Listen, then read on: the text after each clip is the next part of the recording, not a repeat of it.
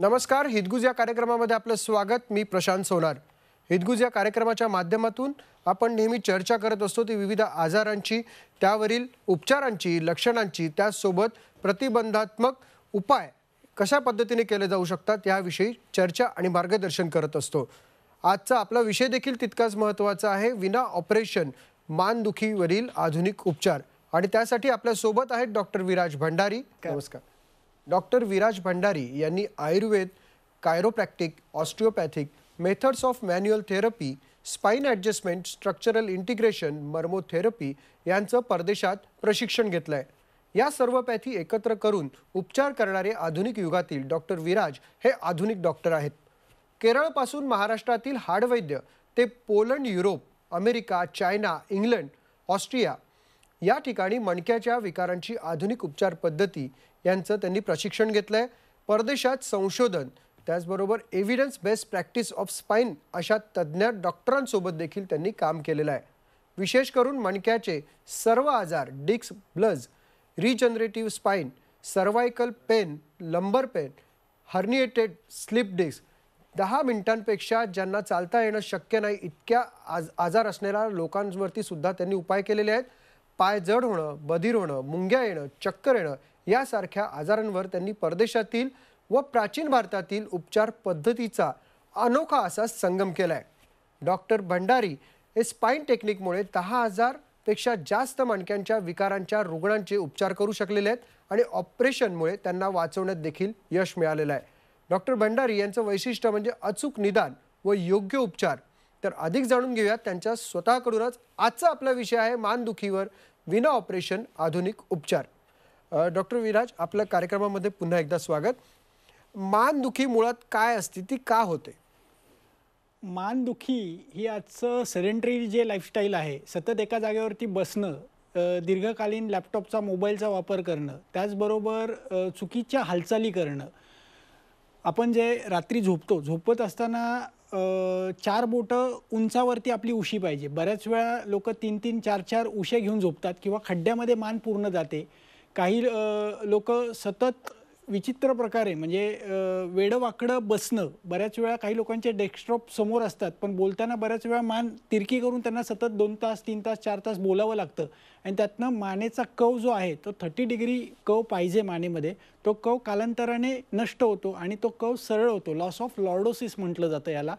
दुसरं कारण आहे आजचा आहार जोच आहे पेशंट रुग्ण लोक आपण वैयक्तिक जीवन जीवनामध्ये सकाळी उठल्यापासून झोपेपर्यंत बऱ्याच वेळा वेळ झाली म्हणून जेवतो. तर वेळ झाली म्हणून न जेवता भूक लागली म्हणून जेवलं पाहिजे. त्याचबरोबर न्यूट्रिशनल फूड हे पोटात गेलं पाहिजे.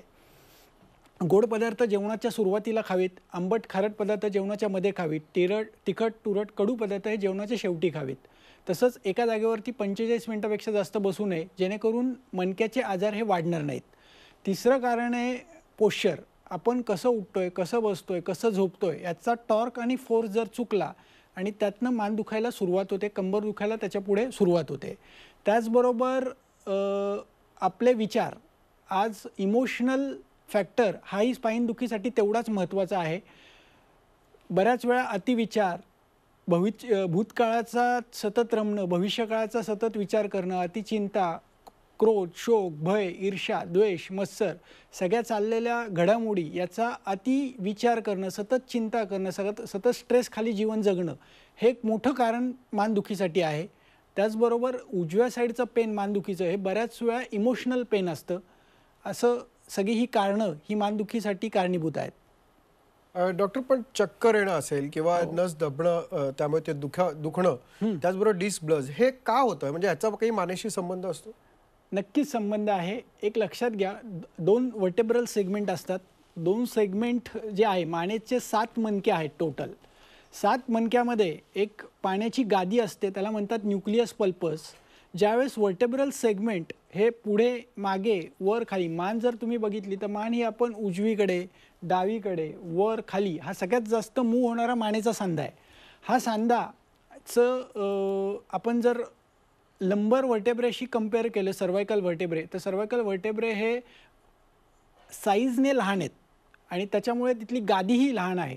त्यामुळे अचानक जर झटका बसला पटकन माणसाने तीन मुवमेंट एका वेळेस केले उजवीकडे बघितोय आपण आणि पटकन डावीकडे जोरात बघितलं किंवा खाली बघितलं म्हणजे एका वेळेस तीन मुवमेंट जर झाल्या तर टॉर्क आणि फोर्स चुकतो आणि ती गादी कालांतराने बाहेर येते. झटका बसून किंवा कालांतराने.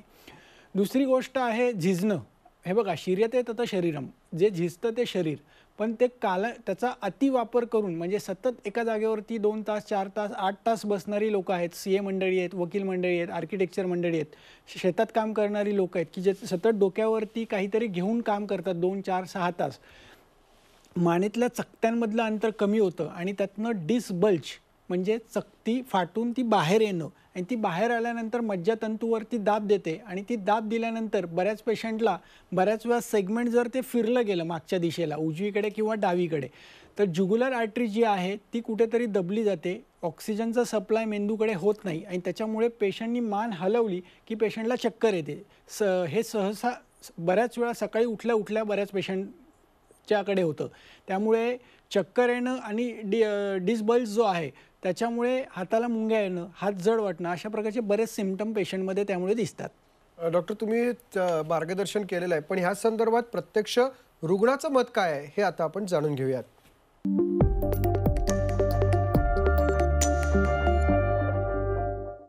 नमस्कार मी सौ निलिमा कासनगुट्टुवार मी चंद्रपूर येथील रहिवासी.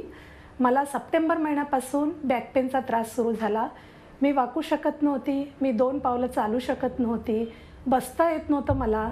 मी स्नानसुद्धा उभं राहून करायची आणि ज्यावेळेला मी सगळे दवाखाने फिरले एम आर आय करायला सांगितला आर्थोपेडिक डॉक्टरांनी त्यामध्ये त्यांनी सांगितले की तुमची नस दबलेली आहे आणि तुम्हाला सर्जरीशिवाय उपाय नाही आहे आणि जर तुम्ही लगेच उपचार नाही केले तर तुम्हाला पॅरालायसिस होऊ शकते. त्यावेळेला मला सरळ उभं राहता सुद्धा येत नव्हतं.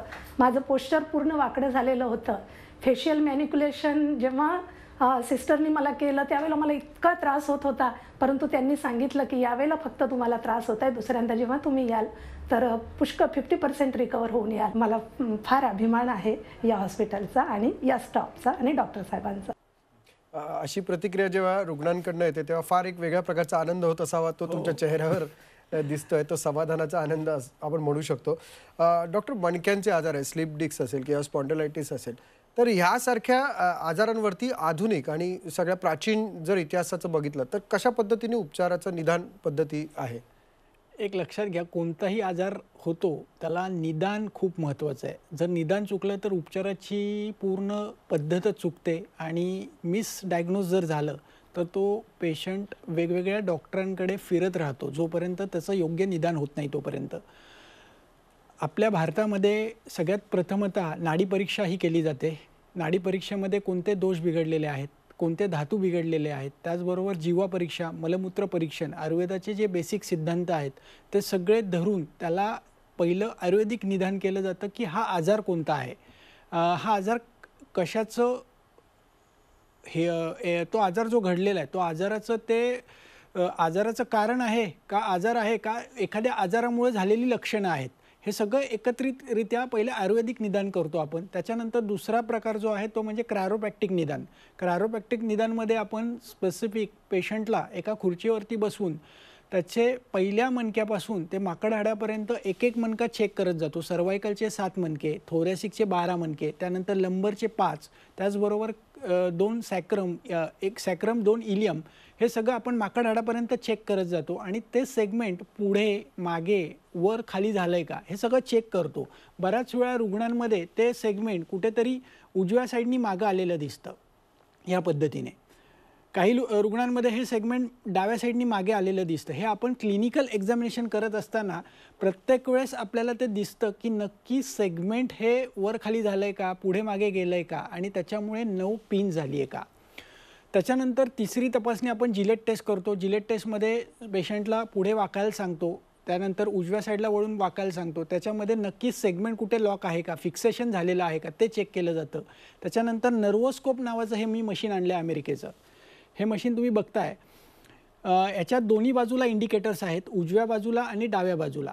याच्यामध्ये पेशंटचं नक्की सेगमेंट जे आहे ते कुठे सरकलेलं आहे आणि किती दिवसापासून सरकलेलं आहे हे सगळं आपण त्याच्यामध्ये दाखवतो. ह्यामध्ये ॲक्च्युअली इन्फ्लॉमेशन कुठे आहे पेशंटचं टेम्परेचर आत्ता नऊ रूटचं किती आहे आणि किती दिवसापासून तो त्यांना त्रास झालेला आहे. हे इंडिकेटर त्या मशीनद्वारे आपल्याला समजतं. त्यानंतर आपण फेशियल टेस्टिंग करतो. फेशियल टेस्टिंगमध्ये फेशिया कोणता मिसअलाईन आहे कोणत्या कोणत्या मसल शॉर्टनिंगमध्ये गेलेल्या आहेत? मसलमुळे बोन वर्टेब्रावरती प्रॉब्लेम आला आहे का? ऑर्गन त्याचा मिस बॅलन्स आहे. स्टमक इम्बॅलन्स आहे का? लिव्हर इम्बॅलन्स आहे का?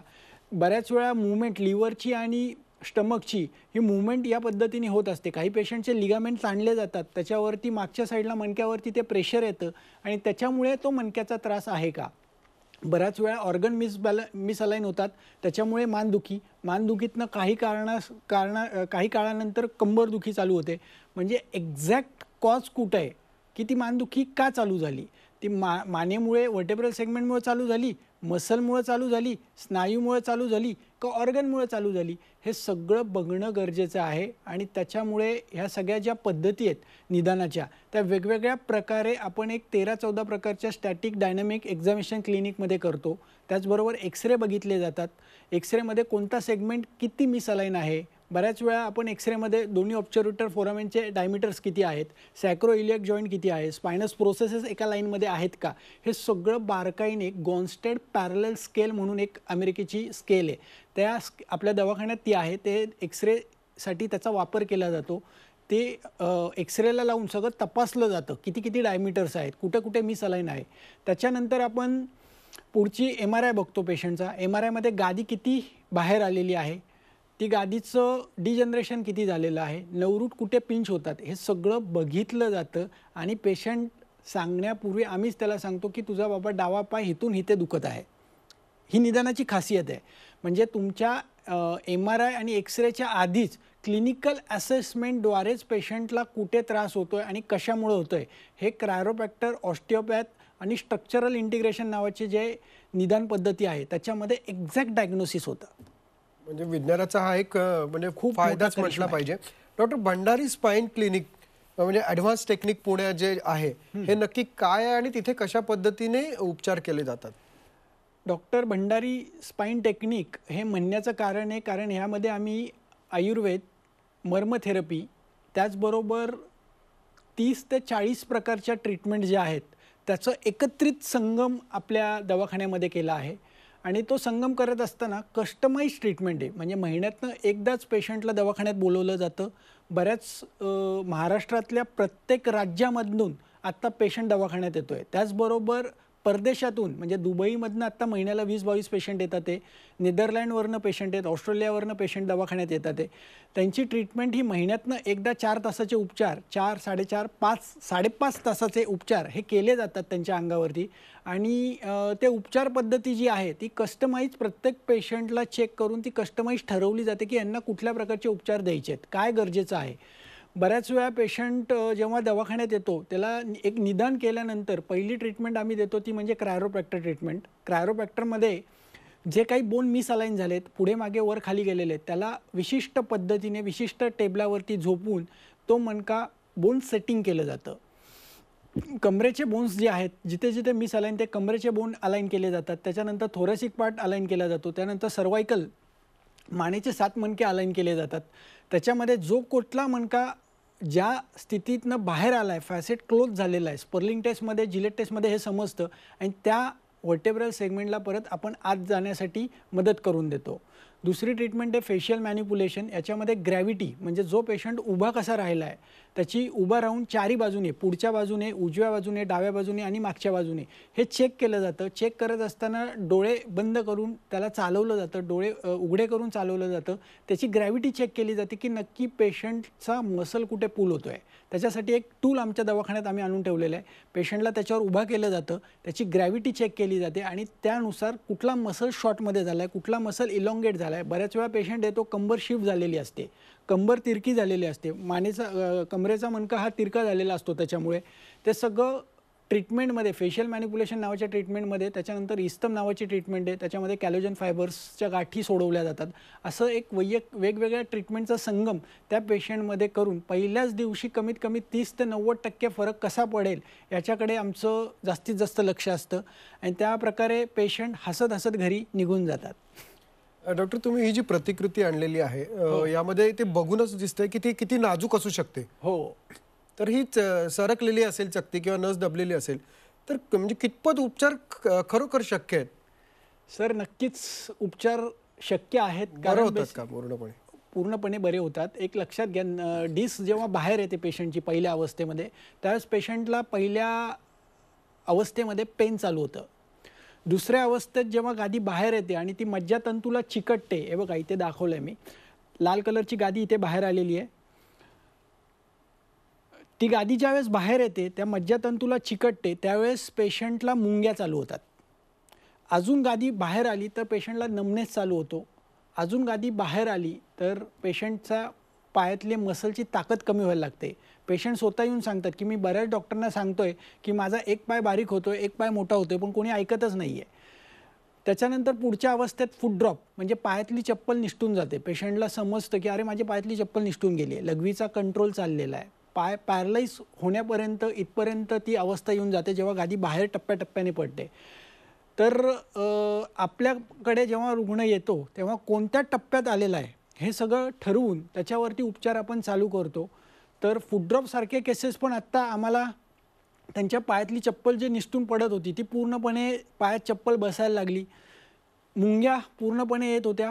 कमरेपासून पायाच्या बोटापर्यंत मुंग्या येत होत्या. मा हा मानेपासून हाताच्या बोटांपर्यंत मुंग्या ज्यांना साधं जेवता येत नव्हतं हातातलं अन्न खाली पडायचं त्यांना आफ्टर पहिल्या तीन ट्रीटमेंटमध्येच मुंग्या बंद होतात. दुखणं पूर्णपणे जातं. व्यवस्थित स्वतःच्या हाताने स्वतःला जेवता येतं. चक्कर तर पहिल्या दोन सेशनमध्ये पूर्ण बंद होते.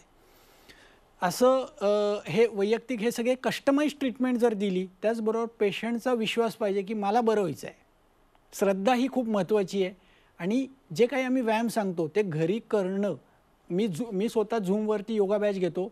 त्याच्यामध्ये योगा ए एन एसचं एक सेशन असतं. आणि त्याचबरोबर B S movement Rolf movement म्हणून काही प्रकार आहेत यू एसमधले ते आपण पेशंटवरती ऑनलाईन झूमवरती घेतले जातात. जर पेशंट शंभर टक्के त्या बॅचमध्ये उपस्थित राहील तर पेशंट फटाफटा बरे होताना ते दिसत आहे त्याच्यामुळे हे सगळे उपचार महिन्यातनं एकदाच आहेत.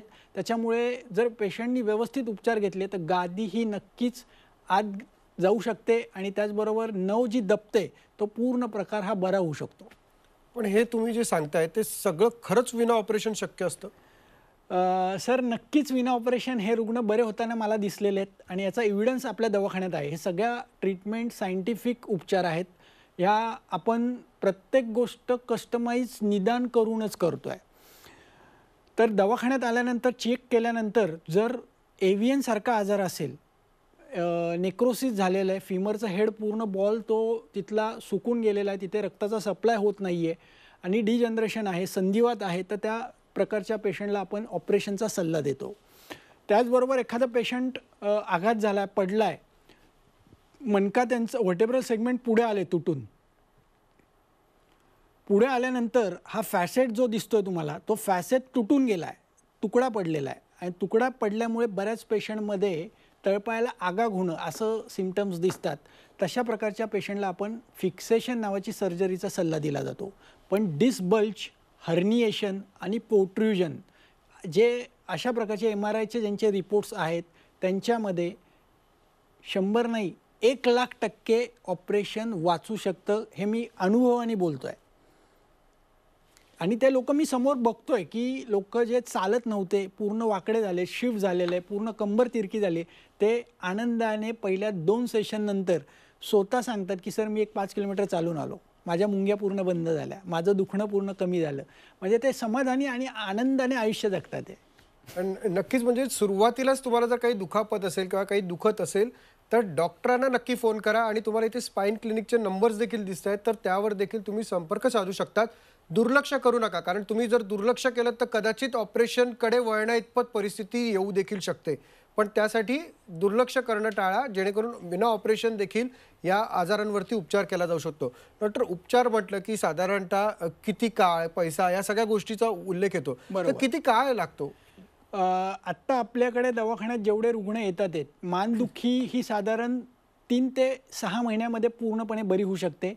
आणि कंबरदुखीचा त्रास जो आहे कंबर कंबरदुखी आणि त्यातनं डिसबल्ज किंवा हर्निएशन पोट्रिजनसारखं सात सेशन सात महिन्यामध्ये सात उपचार हे सफिशियंट आहेत आणि सातव्या महिन्यात आम्ही एम आर आय रिपीट करायला सांगतो. तिसऱ्या महिन्यात एक्सरे रिपीट करायला सांगतो. जे आत्ता एक्सरे तुमच्या मगाशी स्क्रीनवरती होते ते तीन तीन महिन्यांनी घेतलेले एक्सरे तर पेशंटमध्ये पहिल्या दिवशीच तुम्हाला फरक पेशंटला स्वतःला दिसतो की चालताना मला इझिनेस आला आहे दुखणं थांबलेलं आहे. माझ्या शोल्डर लाईनमध्ये आले आहेत माझे पेल्विस माझा लाईनमध्ये आला आहे मसल इझी झाले चालायला इझी वाटतंय बसायला इझी वाटतंय आखडण नष्ट झालेली आहे. हे स्वतः पेशंट तोंडाने सांगतात. नक्कीच डॉक्टर तुम्ही खूप मानदुखीसारख्या अगदी नाजूक विषयावरती मार्गदर्शन केलेलं आहे. त्याबद्दल आपले धन्यवाद. धन्यवाद. डॉक्टर विराज भंडारीजींनी आपल्याला मानदुखीवरती उपचार सांगितले किंवा मार्गदर्शन केलं. तर ताठ मानेने जगायचं असेल ना तर सर्वप्रथम आपल्या मानदुखीवरती आपल्याला नियंत्रण ठेवलं पाहिजे. मग ते नियंत्रण कशा पद्धतीने ठेवावं? तर लक्षणे ओळखावीत योग्य वेळी योग्य डॉक्टरांचा सल्ला घ्यावा आणि त्यावरती उपचार करावेत. आणि ते उपचारांमध्ये सातत्य देखील ठेवणं तितकंच गरजेचं आहे. पण वैद्यकीय सल्ल्याशिवाय कुठलीही गोष्ट करू नये असा सल्ला हा प्रत्येक डॉक्टर देत असतो आणि तो योग्यही असतो. त्यामुळे आज जी मानदुखीवरची चर्चा ऐकली जर तुम्हाला अशी काही लक्षणं असतील तर नक्की डॉक्टर विराज भंडारींना संपर्क साधा आणि वेळीच उपचार घेऊन स्वतःचं आरोग्य ठणठणीत ठेवण्याचा प्रयत्न करा. तुर्तास इजगुज या कार्यक्रमामध्ये वेळ झाली आता इथेच थांबण्याची पाहत राहा झी चोवीस तास.